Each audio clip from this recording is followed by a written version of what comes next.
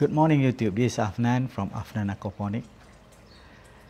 This is my second video after so long staying silence, not doing any video or anything on aquaponics.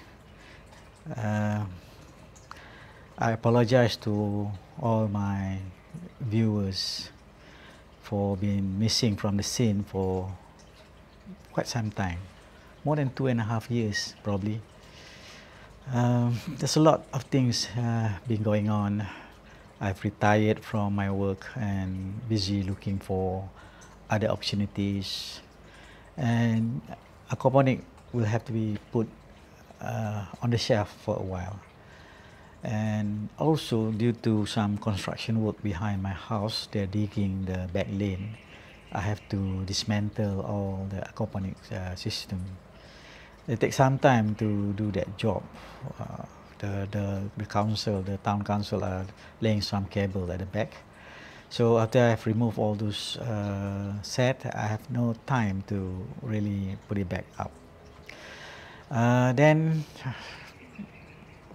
one or two months back, I have some time there on to myself. I'm starting my aquaponic system back. However, as you can see on the right, this is a very small setup which uh, I feel um, due to the unavailability of space in my area, my home, I'm embarking on the opposite end of the aquaponics, going towards miniaturization. Miniaturization of aquaponics is much more difficult as compared to uh, medium scale aquaponics because the siphon, the water control, the amount of water, volume of water in the system is very limited. So I have built this very crude uh, prototype to test out and I'm sure those that are familiar with my aquaponic system have seen that I have made a few single barrel setup uh, using totally one barrel, flip it over and uh, mount it to the bottom piece that kind of setup is not really that not really work that well due to the water volume is uh, very much less. Okay, the siphon is flushing. I'm testing out this uh, system. I did not uh, put any grow media or any grow bait yet. I'm basically cycling the water. I'm putting in a new outlet uh, not really new. I, I put in a aeration outlet. Partly is to reduce the noise level and also to uh, give aeration. Yesterday I made a mistake of coating the siphon at 20 millimeter. No, it is a 15 millimeter pipe siphon. Apologize for that. And as usual, I need to tune this siphon to make sure it works and so far it's been running without any problem. I've put a few bricks inside the grow bed so that the water volume is not that um, much so that uh, I do not need to wait for long for the siphon to operate. Now it's flushing. I'm not sure whether you can hear it or not, but it's flushing and it should cut out with that familiar burp that you're going to make. Okay, this setup I made is from a single 200 gallon barrel. Cut it for growth media area and the fish area. Okay, you're going to cut out. Wait for the burp.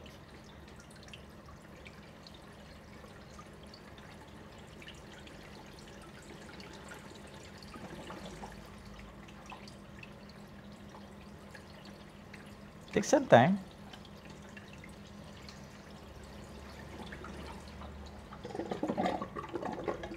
Yes, that's the famous burp of a siphon.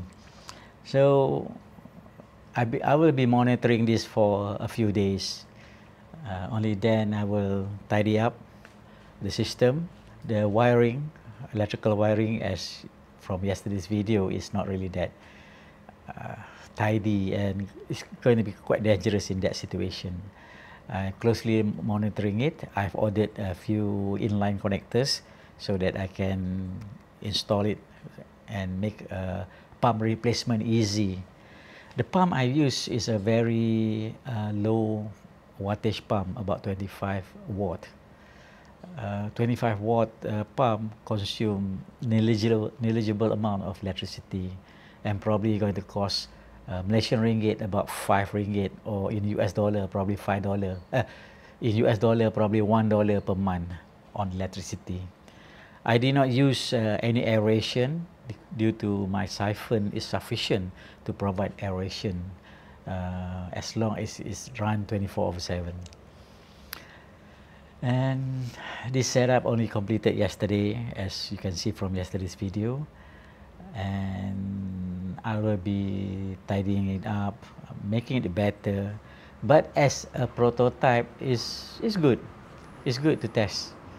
I've cut the extra angle iron so that it will not be that dangerous with me working around the grow bed. And uh, as I shows yesterday, this grow bed is a bit in the shaded area. So I have to see what plants are capable of growing in this uh, environment.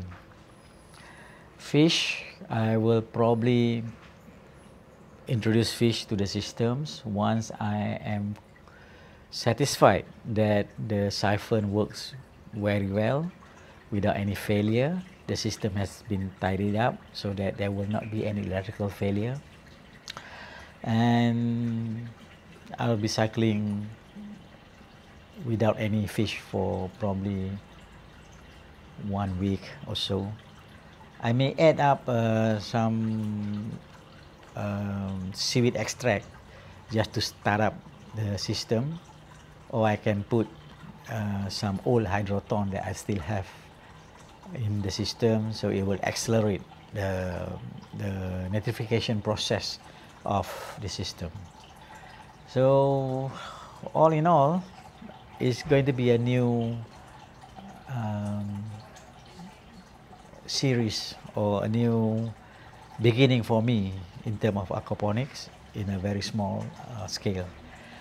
A small aquaponic is good because I'm experimenting this kind of setup so that everyone can set their own aquaponic system. Even if you are living in condominium, um, apartments, or any high rise in Malaysia, you can have a quite a small footprint, roughly around four square feet of space that is all required. And you can experiment with plantings, uh, simple plants that you may use in your day-to-day -day cooking, and some ornamental fish. I'm not recommending fish like tilapia in this small kind of setup, but ornamental fish that will keep the nitrification process ongoing. So uh, that's about it for today, and I hope uh, uh, this uh, start is something going to be uh, beneficial to all of us that been following my aquaponic uh, channel and again I apologize for not being doing any video for a very long time. Thank you very much. Bye